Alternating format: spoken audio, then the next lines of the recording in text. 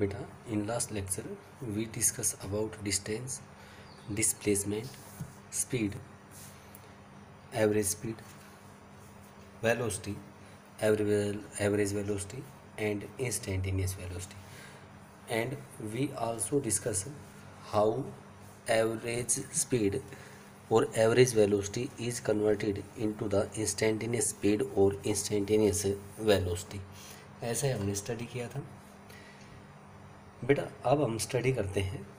एक, हमने लास्ट में ये भी पढ़ा था कि अगर हमारे पास कोई भी ये वाल क्लॉक है वाल क्लॉक है तो उसकी जो सेकंड हैंड है, उसकी हमने कैलकुलेट कर ली थी कि भाई एवरेज स्पीड हमारे पास क्या आई थी और हमने कैलकुलेट कर लिया था कि एवरेज वेलोसिटी है वो हमारे पास किसके बराबर आई थी। और बेटा, हमने ये पढ़ा था कि जब हमारे पास वन सेकंड का डिस्प्लेसमेंट होता है वन सेकंड के अंदर जो एंगुलर डिस्प्लेसमेंट होता है, वो किसके बराबर होता है? आपके पास सिक्स डिग्री के बराबर होता है। लेकिन अगर, ये तो सेकेंड हैंड की बात करी थी। अगर हमने मिनट हैंड की बात करी थी तो मिनट हैंड के अंदर हमने ये कहा था कि मिनट हैंड में जो डिस्प्लेसमेंट होगा, वो हमारे पास वन अपॉइंट टेन डिग्री का डिस्प्लेसमेंट होगा। और जब एक राउंड कंप्लीट करती है सेकेंड हैंड तो इसका जो एंगल बना था वो हमारे पास 360 डिग्री के बराबर बना था। एक दूसरा केस हमने ये कहा था कि भाई अगर हमारे पास इस टाइप से है, ये एंगल कुछ भी बना था ठीटा बन गया था एंगुलर डिस्प्लेसमेंट ठीटा था। बेटा अगर हमारे को क्या चाहिए था डिस्प्लेसमेंट चाहिए था तो ये मैंने ये कहा था कि ये परपेंडिकुलर ड्रा किया था, ये ठीटा बाई टू हो गया था। ये बता दिया था। और इसकी जो हमारे पास जो नेट डिस्प्लेसमेंट आया था वो आया था हमारे पास two r sine of theta by two के बराबर आया था और हमने कहा था कि ये हमारे पास डिस्प्लेसमेंट था। यही था। एंगल कुछ भी हो सकता है हमारे पास। हमने एंगल कैलकुलेट करना सीख लिया था। आज हम स्टडी करते हैं वन डायमेंशन में। कई बार तुमने देखा होगा कि भाई पार्टिकल है, वो मूव करता है और मूव करने के बाद कई बार वो पल्टी मार देता है। तो आप जब भी आप डिस्टेंस और एवरेज स्पीड के जब क्वेश्चंस करते हो तो हमें ध्यान से देखना चाहिए कि कहीं पार्टिकल ने वन डायमेंशन और से टू डायमेंशन हो। कहीं पलटी तो नहीं मारी है। अब देखो, एक पलटी मारने का क्वेश्चन करते हैं। ये कहता है कि the position of a particle is given as x is equal to two t minus t square तब ये कहता है कि हमें फाइंड आउट करना है। Find its average speed average speed in three second तीन सेकेंड टाइम पे हमें इसकी एवरेज स्पीड है वो कैलकुलेट करनी है। बेटा यहाँ पे देखो, सबसे पहले तो मैं ये कहता हूँ कि जो एवरेज स्पीड कैलकुलेट करनी है तो उसके लिए हमने क्या निकालनी है कि v इज़ इक्वल टू हमने पढ़ा है कि जो स्पीड होती है वो d x upon d t होती है एंड ये आई d by d t of two t minus t square यही है बेटा। डी बाई टी टी का मतलब हो गया कि इसको डिफ्रेंशिएट करते हैं and we get d is equal to v is equal to d by d t of two t minus d by d t of t square यही आएगा बेटा। टू कॉन्स्टेंट है, ये तो बाहर आ गया। D by d t of t minus x की पावर एन हो तो एन एक्स की पावर एन माइनस वन होता है। टी की पावर एन हो तो टी एन टी की पावर एन माइनस वन होता है। तो बेटा टू आगे आ गया। टी की power one and we get two minus two t के बराबर आ गया। हमने ये कह दिया कि इसकी वेलोसिटी है वो आई हमारे पास टू माइनस टू टी के बराबर आ गई। अब मैं ये कहता हूँ आपको कि जब time t is equal to zero था तो पार्टिकल था, उसकी डिस्टेंस ज़ीरो थी दैट इज़ ये ओरिजिन पे था। और जब टाइम ज़ीरो था तो उसकी वेलोसिटी थी, वो हमारे पास कितनी थी बेटा? टू मीटर पर सेकेंड बड़े ध्यान से देखोगे। T is equal to zero पे पार्टिकल था, वो ओरिजिन पे था। मैंने ये बना दिया कि भाई ये हमारे पास टाइम था t is equal to zero और पार्टिकल था वो इस ओरिजिन पे था और यहाँ पे उसकी वेलोसिटी थी वो दो मीटर पर सेकंड थी। अब मैं कहता हूँ कि जब टाइम है वो तीन सेकंड के बराबर हो गया, बड़े ध्यान से देखोगे, तब उसकी डिस्टेंस है वो हो गई हमारे पास two into three minus three का square and x is equal to six minus nine is equal to minus three metre इसका मतलब ये हो गया कि t is equal to three second पे पार्टिकल यहाँ पे आ गया। कि कहाँ पे आया? थ्री मीटर डिस्टेंस पे आ गया। यही आया। अब बताओ बेटा पार्टिकल की जब वेलोसिटी साइड में थी, इधर थी, जब t is equal to zero था तो वेलोसिटी हमारे पास पॉजिटिव है। देखो यहाँ से। तो इसका मतलब क्या हुआ कि पार्टिकल है इस एक्स एक्सिस का, लोग राइट डायरेक्शन में जा रहा था। लेकिन फाइनली कहाँ पे पहुँच गया वो? माइनस थ्री मीटर दूरी पे। इसका मतलब कहीं ना कहीं यहाँ पे पार्टिकल रुका होगा। किसी ए पॉइंट पे और रुकने के बाद बोलो वापस इस साइड में आया होगा या नहीं?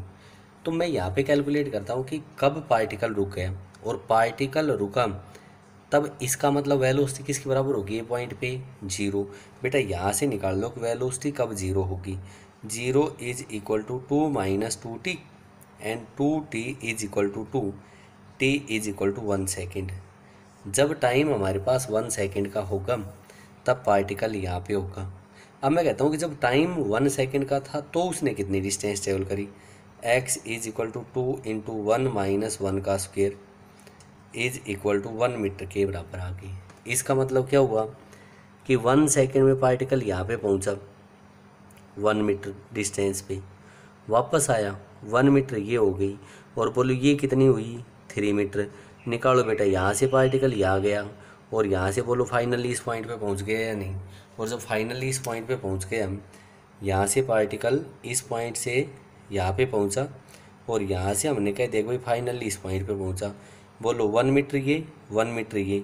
टोटल डिस्टेंस की अगर मैं बात करूँ distance is equal to one plus one plus three is equal to कितनी हो गई? फाइव मीटर और बेटा, इस पूरे प्रोसेस में इसने जो टाइम लिया, वो बोलो हमारे पास किसके बराबर लिया? थ्री सेकेंड के बराबर बोलो average speed, distance upon time five upon three metre पर सेकेंड। नहीं आया? आया? चलो एक बार दोबारा देखो इसको।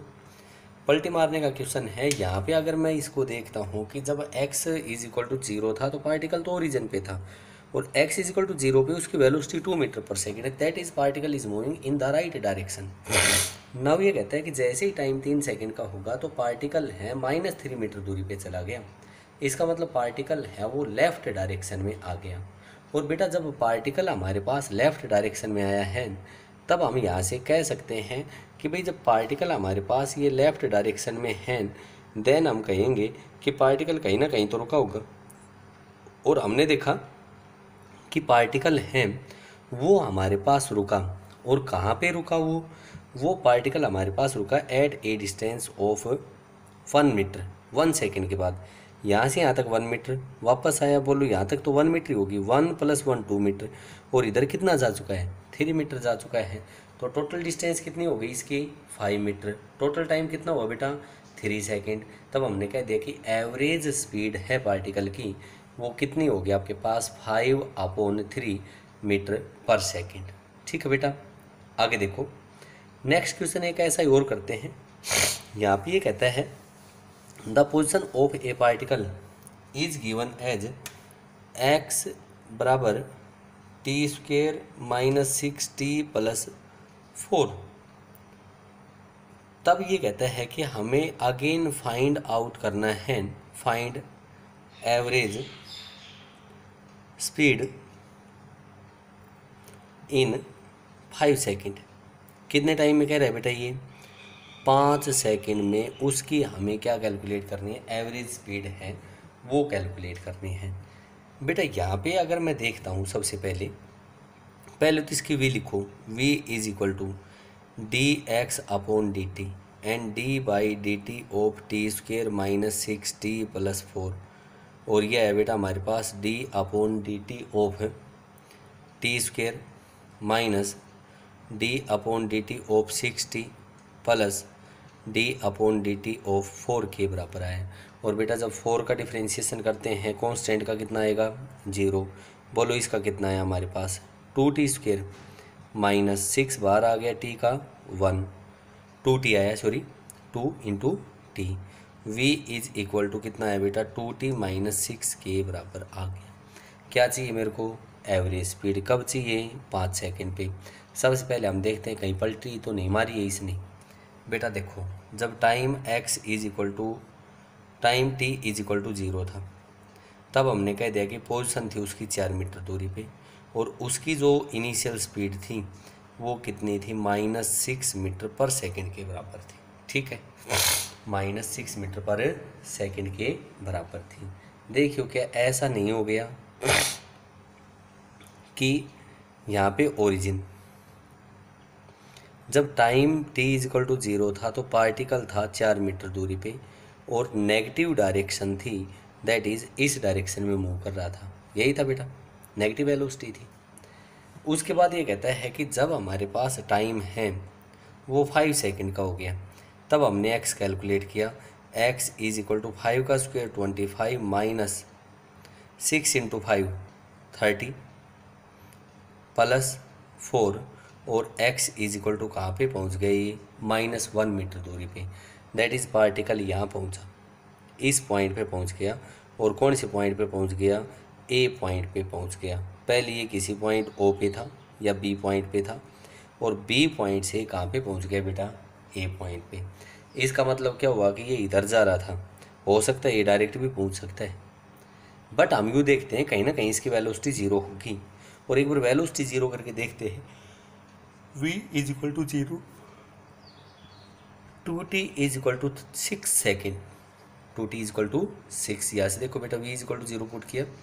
T is equal to three second इसका मतलब ये हो गया कि टोटल टाइम तो हमारे पास पाँच सेकेंड था बट तीन सेकेंड पे पार्टिकल है, कहीं रुक गया। और रुकने के बाद फिर वापस चलेगा। बेटा t is equal to three second के ऊपर इसकी डिस्टेंस देखो। X is equal to three का square nine minus six into three eighteen plus four. और ये कहाँ पे था आपके पास? माइनस फाइव मीटर दूरी पे होगा ओरिजिन से। तब हम कहेंगे कि इसकी जो डिस्टेंस जो वेलोसिटी है, वो ज़ीरो होगी। इसका मतलब पार्टिकल किसी पॉइंट सी पे होगा तो इसकी वेलोसिटी कितनी हो गई? ज़ीरो अब देखो बेटा, पहले पार्टिकल यहाँ था, यहीं था t is equal to zero पे। यहाँ से चला, बोलो यहाँ तक कितनी डिस्टेंस होगी इसकी? चार मीटर। ठीक है? फिर यहाँ से यहाँ पे गया। बोलो कितनी हो गई? पाँच metre.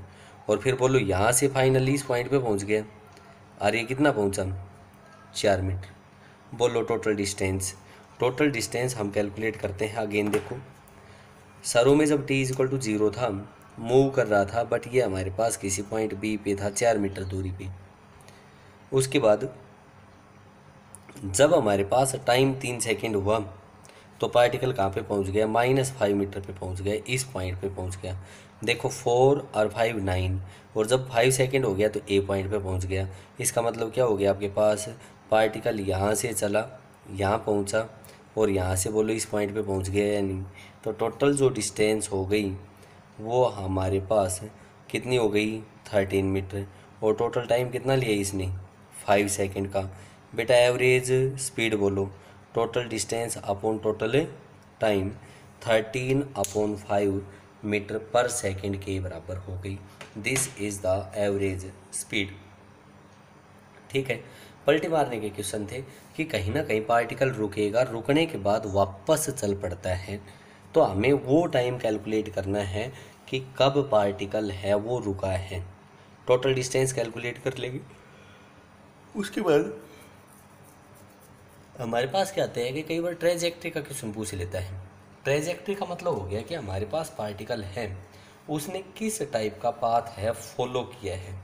Which type of path is followed by the particle that is known as the trajectory trajectory हमारे पास ये होता है कि भाई path followed by the particle उसी को हम किसका नाम देते हैं बेटा? ट्रेजेक्ट्री का नाम देते हैं। तो यहाँ पे हमारे पास आता है कि भाई ट्रेजेक्ट्री के ऊपर बेस क्वेश्चन आता है।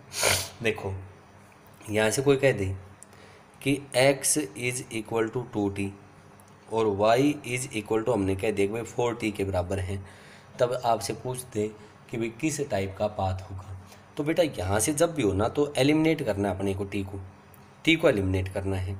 और टी को एलिमिनेट करना है तो मैं इसको एक्स अपॉन वाई लिख लूँ। Two t upon four t t से टी कट गया टू टू ज़ा four x upon y is equal to one by two and we get y is equal to two x और जब y is equal to two x आया है तो बोलो हमारे पास स्ट्रेट लाइन होगी या नहीं होगी? वन डायमेंशनल मोशन में होगी और कैसी होगी? ये स्ट्रेट लाइन होगी। और जैसे स्ट्रेट लाइन होगी तो ये तो एक्स कह दिया बेटा। ये क्या कह दिया हमने? Y this is the equation of trajectory ठीक है? ऐसा क्वेश्चन हम ये भी कह सकते थे कि एक्स है, मान लो टू टी है। और y है वो हमारे पास टी स्क्वेयर है। x टू टी और y क्या आपके पास टी स्क्वेयर है। तब ये कह देख भाई हमारे पास किस टाइप का मोशन होगा? बेटा आगे इन एलिमिनेट टी करो। भाई इससे टी की वैल्यू निकालो।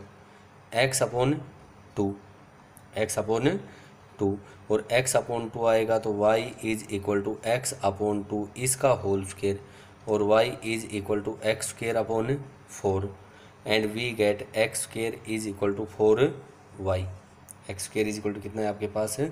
फोर वाई या हमने कह दिया y is equal to x square upon four y is equal to x square upon four किसकी इक्वेशन है? पैराबोला की. This is the equation of parabola बढ़ता हुआ या नीचे की साइड में आता हुआ? नीचे की साइड में तो ये बड़ा आएगा. ये तो जब आएगा. जब x is equal to y square की फॉर्म में हो, लेकिन जब y is equal to x square की फॉर्म में हो, तब हम कहेंगे कि ये कैसा होगा आपके पास? बढ़ता हुआ। देर हम कहेंगे कि जो पाथ होगा, जो ट्रेजेक्ट्री होगी, वो कैसी ट्रेजेक्ट्री होगी बेटा? पैराबोलिक ट्रेजेक्ट्री होगी। पैराबोलिक पाथ होगा। अब यहाँ पे देखते हैं वन डायमेंशन में है या टू डायमेंशन में? बेटा, अगर इसकी वेलोसिटी एक्स एक्सिस का लॉन्ग निकाले तो ये आएगी d x upon d t and this is equal to d by d t of two t और बोलो बेटा टू आ गई या नहीं? और वाई एक्सिस का लॉन्ग मैं कैलकुलेट करूँगा तो ये क्या आएगी? D y upon d t and this is equal to d by d t of t square और ये बोलो हमारे पास कितनी आई? टू टी और रिजल्टेंट वेलोसिटी अगर मैं कहूँ तो ये आएगी v x i cap plus v y j cap और v is equal to v x two i cap plus two t j cap और बोलो ये हमारे पास कितने डायमेंशन हो गया? टू डायमेंशन में हो गया।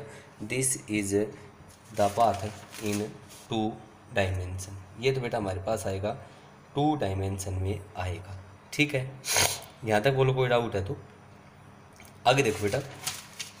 आगे हमारे पास आता है एक्सलेशन आता है। कि एक्सलेशन है, वो हमारे पास क्या होता है? वाट इज़ द एक्सलेशन बेटा, तुमने देखा होगा कि भाई जो हमारे कार है स्कूटर है मोटरसाइकिल है, इसके अंदर हम जब इसको चलाते हैं तो रेस वायर को दबाते हैं। और रेस वायर को दबाते हैं तो उसको हम क्या कह देते हैं कि भाई एक्सलेटर का नाम देते हैं। तो जो हमारे पास जो स्पीड बढ़ाता है, जैसे आपने मोटरसाइकिल की रेस बढ़ाई तो आपने उसको एक्सेलरेट कर दिया और उसको छोड़ दिया। तो बोलो स्पीड है, वो कंटिन्यूसली घटती है या नहीं? तो उसी को हम किसका नाम दे देते हैं? एक्सेलरेटर का नाम दे देते हैं। हमारे पास आता है कि भाई एक्सेलरेटेड मोशन है, वो हमारे पास क्या होता है? ये कहता है कि कोई भी बॉडी है, अगर उसकी स्पीड है, वो कॉन्टीन्यूसली या तो हमारे पास इंक्रीज़ करती है, या हमारे पास कॉन्टीन्यूसली क्या करती है? आपके पास डिक्रीज करती है। तब ये कह देता है कि भाई उसका जो मोशन है that motion is known as the accelerated motion अब देखियो अब आप बस में जा रहे हो कहीं भी। बस में जा रहे हो स्टार्ट हुई रेस से। बोलो उसकी स्पीड बढ़ी है या नहीं? उसके बाद कोई ब्रेकर आ गया? ब्रेकर आ गया तो बेटा उसकी स्पीड घटेगी। फिर उसके बाद फिर उसकी स्पीड बढ़ेगी। फिर घटेगी। कोई सवारी स्टैंड पे उतारनी है तब भी बोलो वो हमारे पास उसकी स्पीड है वो डिक्रीज होगी। Then this type of motion is known as the accelerated motion इस टाइप का जो मोशन है, उसी को हम किसका नाम दे देते हैं? भाई that is known as accelerated motion अब हमारे पास आता है कि एक्सलरेशन है, वो हमारे पास क्या होता है? एक्सलरेशन ये कहता है कि change in velocity upon change in time acceleration है, वो हमारे पास क्या आएगा? Change in velocity upon change in time उसी को हम किसका नाम दे देते हैं? भाई that is known as the acceleration उसका हमारे पास जो नाम आया, वो क्या है आपके पास? है एक्सलेशन का नाम आया। दैट इज़ मैं ये कह सकता हूँ कि acceleration is equal to final velocity minus initial velocity upon change in time और इसको मैं लिख सकता हूँ v final minus v initial upon change in time ठीक है बेटा? अब हमने कह दिया कि एक्सलेशन इसके बराबर है। और इसको मैं ये क्या कह सकता हूँ भाई टोटल चेंज तो डेल्टा वी आया upon delta t hence a is equal to delta v upon delta t के बराबर आया। ठीक है बेटा? ये तो हमारे पास आ गया एक्सेलरेशन आ गया। अब मैं आपको यूँ कहता हूँ कि वेलोसिटी बोलो स्केलर या वेक्टर वेक्टर क्वांटिटी तब हम कहेंगे कि एक्सेलरेशन है, वो भी हमारे पास क्या रहेगी? It is also a vector quantity ये भी हमारे पास क्या रहेगी? आपके पास वेक्टर क्वांटिटी होगी। ठीक है? उसके बाद ये हमारे पास हो गई वेक्टर क्वांटिटी अब हम यूँ कहते हैं कि डायरेक्शन है, वो हमारे पास किधर होगी? डायरेक्शन है वो हमारे पास किधर होगी। तब ये कहता है कि भाई जो डायरेक्शन है एक्सेलरेशन की, वो होगी in the direction of change in velocity acceleration has same direction as change in velocity direction in change in velocity जो चेंज इन वेलोसिटी की जो डायरेक्शन होगी, वही हमारे पास डायरेक्शन किसकी होगी? आपके पास है एक्सलरेशन की होगी। आप ये नहीं कह सकते कि एक्सलरेशन है। It is in the direction of velocity आप इसको क्या कहोगे कि it is always in the direction of change in velocity in the direction of change in velocity a has the direction same as the direction in change has the same direction in change अब देखो, अगर मैं कह दूँ कि आपके पास circular motion है सर्कुलर मोशन है बेटा, ठीक है? देखो, किसी टाइम पे हमारे पास पार्टिकल यहाँ था वी वैल्यू स्टेज से आ रहा था, और जब ये किसी टाइम पे यहाँ पे पहुँचा तो इस साइड में चला गया, यही जाएगा। अब मैं अगर अगर आपसे इसके नेट चेंज की बात करूँ तो मैं कहूँगा कि इसका जो नेट चेंज इन वेलोसिटी होगा, वो बेटा इसी डायरेक्शन होगा। देखो, ये इधर जा रहा था ये हमारे पास इस साइड में जा रहा था, तब हम कहेंगे कि रिजल्टेंट चेंज होगा। वो हमारे पास v two minus v one है। वो हमारे पास इस डायरेक्शन में होगा। इस डायरेक्शन में कैसे होगा? इसका हमने क्या किया कि भाई इसको हमने सोल्व किया। और सोल्व किया तो हमने कह दिया कि फाइनल तो इधर जा रहे हैं। और इनिशियल जब ये इस साइड में जा रहा था तो हमने कह दिया कि बोलो नेगेटिव इस साइड में होगा या नहीं। ये वी इनिशियल और ये फाइनल तब हम कहेंगे कि भाई जो नेट चेंज इन वेलोसिटी होगा, वो किधर होगा इसका? सेंटर की साइड में। और बोलो सर्कुलर मोशन में ऐसा ही तो होता है कि बोलो सेंट्रीबिटल फोर्स इसके सेंटर की साइड में एक्ट करता है और सेंट्रीबिटल फोर्स इसके सेंटर की साइड में एक्ट करता है। तो बोलो हमारे पास इसकी जो वेलोस एक्सलरेशन है, वो भी सेंटर की साइड में? और जब एक्सलरेशन सेंटर की साइड में है तब हम कहेंगे कि वेलोसिटी है, वो भी हमारे पास किस साइड में होगा? आपके पास चेंज इन वेलोसिटी होगा। It is also towards the centre आगे देखो बेटा। आगे हम यहाँ पे ये कहते हैं कि हमने ये बताया कि a is equal to d v upon d t या delta v upon delta t मैं ये कहता हूँ कि किसी पॉइंट पे अगर एक्सेलरेशन ज़ीरो है एक्सेलरेशन क्या है? ज़ीरो है। तब हम कहेंगे कि v may not be zero क्यों? क्योंकि एक्सेलरेशन क्या होता है? Change in velocity upon change in time और चेंज इन वेलोसिटी है वो ज़ीरो कब होगा? जब हमारे पास वेलोसिटी है वो क्या रहेगी बेटा? आपके पास कॉन्स्टेंट रहेगी। और उसके बाद ये कहता है कि अगर हमारे पास वेलोसिटी ज़ीरो है किसी पार्टिकल की तो उस इंस्टेंट ऑफ़ टाइम पे एक्सेलरेशन है वो भी कितना रहेगा? ज़ीरो रहेगा। जैसे मैं कह दूँ कि भाई हम कार में बैठे हैं या बस में बैठे हैं या मोटरसाइकिल पर बैठे हैं तो जब हम बैठे हैं तो वो उस टाइम के लिए वेलोसिटी ज़ीरो थी तो एक्सेलरेशन ज़ीरो है। बट वो चलेगी चलेगी तो ये बताओ क्या हमेशा हमारे पास एक्सेलरेशन ज़ीरो होगा? नहीं होगा। भाई कोई ज़रूरी है, धीरे धीरे चलनी स्टार्ट हुई है तो इसका मतलब वो क्या हुई है? आपके पास एक्सेलरेट हुई है। और एक्सेलरेट हुई है, तब हम कहेंगे कि उस केस के अंदर, उस पार्टिकुलर केस के अंदर हम कहेंगे कि एक्सलेशन है, वो किसी इंस्टेंट के लिए ज़ीरो हो सकता है। किसी इंस्टेंट के लिए हमारे पास कितना हो सकता है? ये ज़ीरो हो सकता है। बट उसके एंटायर मोशन के लिए इसकी वैल्यू ज़ीरो नहीं होगी। ठीक है? ठीक है बेटा, यहाँ तक बोलो, किसी बच्चे को कोई डाउट हो। आगे मैं इसकी बात करता हूँ भाई यूनिट की बात करता हूँ। और यूनिट की जैसे बात करते हैं तो वेलोसिटी यूनिट क्या होती है? मीटर पर सेकेंड और टाइम की सेकेंड तब हमने कह दिया कि इसकी जो यूनिट हो गई, वो किसके बराबर हो गई? आपके पास मीटर पर सेकेंड स्केयर के बराबर हो गई। यही हुई बेटा। उसके बाद ये कहता है कि अगर हमारे पास एक्सलरेशन है, इसकी वैल्यू है, वो हमारे पास नेगेटिव है। If the value of acceleration is negative then it is termed as और नेम्ड एज रिटार्डेशन इसका हमने जो नाम दिया, वो क्या नाम दे दिया? रिटार्डेशन का नाम दे दिया और we can say that deceleration उसका जो दूसरा नाम दिया, वो हमने नाम दे दिया कि भाई that is also known as deceleration deceleration का भी नाम दे दिया। उसके बाद हमारे पास आता है बेटा एवरेज एक्सलेशन कि एवरेज एक्सलेशन है, वो हमारे पास क्या होता है?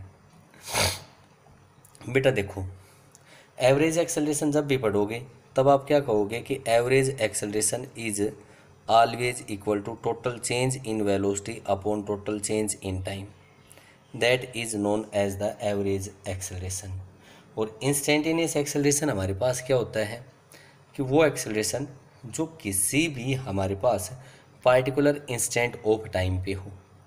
जैसे हमने वेलो स्पीड की करी थी एवरेज स्पीड से इंस्टेंटेनियस स्पीड में कि उस छोटे से इंटरवल टाइम में उसी टाइप से एक्सेलरेशन को भी करें। तो यहाँ पे मैं वही बातें दोबारा रिपीट नहीं कर रहा। यहाँ पे हमने कह दिया कि इंस्टेंटेनियस एक्सेलरेशन है, वो हमारे पास क्या होगा कि भाई limit delta t tends to zero total change in velocity upon total change in time यही होगा बेटा। और उसके बाद हमने कह दिया कि instantaneous acceleration is equal to d v upon d t के बराबर आ गया। This is the instantaneous acceleration ठीक है बेटा? इसका मतलब हम यहाँ पे क्या करेंगे? डिफ्रेंशिएट करेंगे। ठीक है? उसके बाद हमने ये पढ़ लिया कि इंस्टेंटेनियस एक्सेलरेशन है। वो किसके बराबर आया बेटा? A is equal to d v upon d t अब मैं अगर यूँ कह दूँ कि जब हमारे पास स्ट्रेट लाइन मोशन हो और वेलोसिटी है, वो फ़ंक्शन ऑफ़ डिस्टेंस हो तो हम क्या करेंगे? बेटा इसको डी एक्स से मल्टीप्लाई कर दिया डी एक्स से डिवाइड कर दिया। ए इज़ इक्वल टू हमारे पास आया d v upon d x into d x upon d t ठीक है? D x upon d t को हमने क्या नाम दिया? वी का नाम दिया। Therefore a is equal to v into d v upon d x यही आया ए बराबर v into d v upon d x के बराबर आ गया। ये कहता है कि ये हमारे पास फॉर्मूला जब अप्लाई होगा, जब वेलोसिटी है, वो फ़ंक्शन एक्स का है और मोशन है, वो हमारे पास कैसी लाइन में है? स्टेट लाइन मोशन में है। स्टेट लाइन में अगर पार्टिकल मूव करता है और velocity is function of x then we apply this formula ये फॉर्मूला है, वो हमारे पास अप्लीकेबल होगा। ठीक बेटा? अब देखो, यहाँ पे आपसे ये कह दे कि कोई पार्टिकल है, वो हमारे पास v is equal to two x velocity से मूव करता है। कोई पार्टिकल है, वो मूव करता है with velocity v is equal to two x तब ये कहता है कि भाई find the acceleration of the particle at t is equal to zero ये कहता है कि हमें एक्सेलरेशन है, वो कैलकुलेट करना है पार्टिकल का। Find the acceleration of the particle and ये कहता है कि पार्टिकल है t is equal to zero time पे उसकी जो पोजीशन थी वो हमारे पास टू मीटर थी। दोबारा स्टेटमेंट को ध्यान से देखोगे। पार्टिकल है, वो मूव करता है। V is equal to two x velocity से। That is velocity is the function of distance दूसरे ये कहता है कि जब टाइम हमारे पास ज़ीरो सेकेंड था, तब पार्टिकल की पोजिशन थी। वो हमारे पास किसके बराबर बताई? इसने टू मीटर के बराबर बताई है। तब ये कहता है कि we have to calculate we have to calculate the acceleration of the particle acceleration of the particle बेटा यहाँ पे v है, वो किसका फ़ंक्शन है? X का। और हमने ये पढ़ा है कि v होता है, वो किसके बराबर होता है? D x upon d t पहले मैं इसकी पोजिशन निकालता हूँ। Therefore d x upon d t is equal to two x और d x upon x is equal to two into d t ठीक है? पहले जब हमारे पास t is equal to zero था तो पोजिशन कितनी थी? X थी। इंटीग्रेट कर दो। X से। और जब t is equal to zero था तो पोजिशन कितनी थी? टू और फाइनल पोजिशन कितनी मान ली मैंने इसकी?